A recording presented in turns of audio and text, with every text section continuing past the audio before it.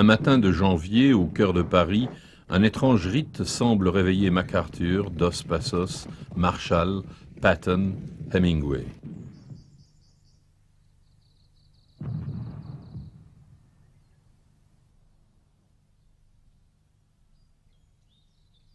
Plus à l'est, il suffit d'une brume lorraine pour qu'un regard de pierre éveille 80 000 regards éteints.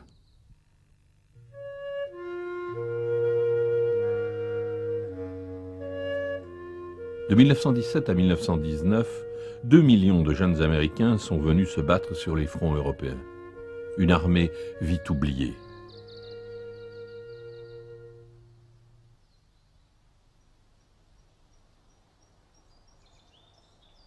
Nous rendons hommage à ces combattants de 20 ans qui ont traversé un océan.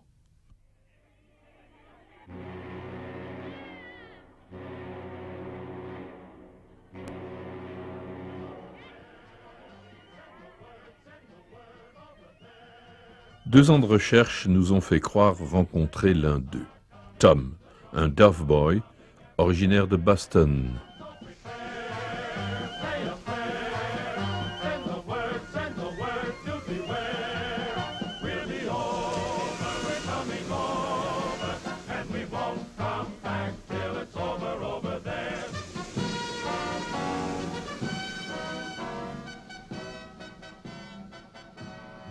Tom ne se confie plus, ou par bribes, quand il a trop bu.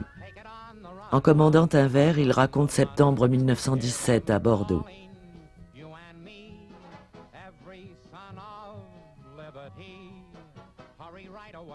Apeuré par la foule, le bras ankylosé d'avoir trop salué sur le quai, il a tendu son arme au père d'une fillette en robe blanche.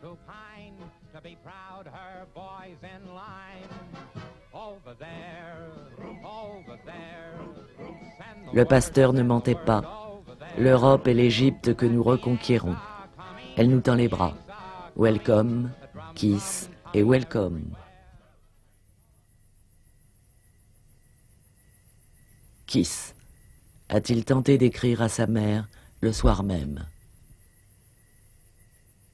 Du port de base numéro 2, Tom a en fait écrit À Bordeaux, chère maman, on s'est pris pour les enfants de Pershing.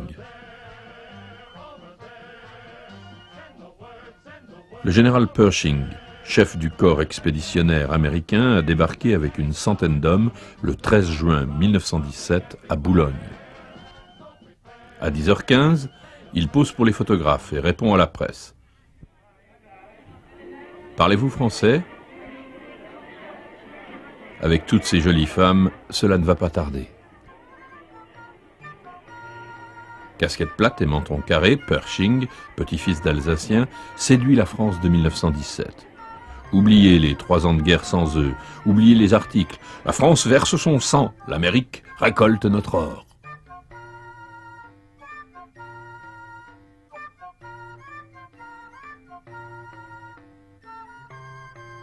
« 13 juin, quelques heures plus tard, Paris remercie l'engagement américain. Cour d'honneur des Invalides, Pershing reçoit son fanion.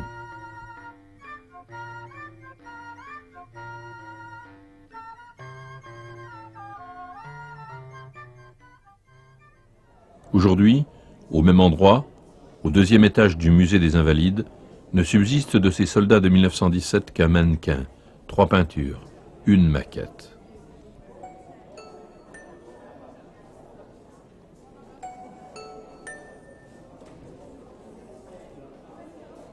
Dans l'escalier monumental, un char, presque oublié, rappelle qu'on attendait d'eux de l'acier, de l'or et des hommes.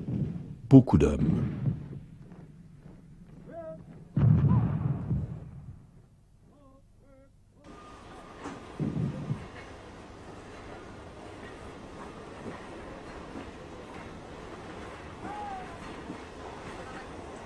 Tom n'a pas eu le temps de poster sa lettre.